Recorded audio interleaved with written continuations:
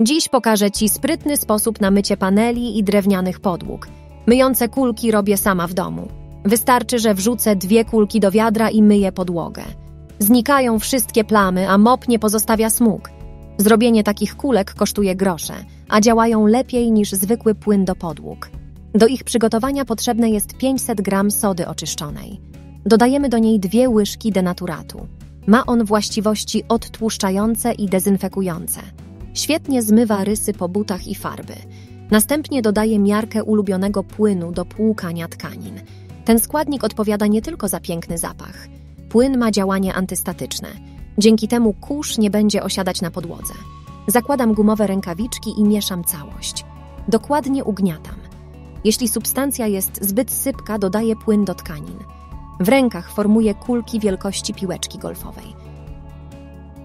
Następnie układam kulki na plastikowej desce i zostawiam na całą noc do wyschnięcia. Na drugi dzień delikatnie przekładam do pudełka. W ten sposób mogę przechowywać nawet przez parę tygodni.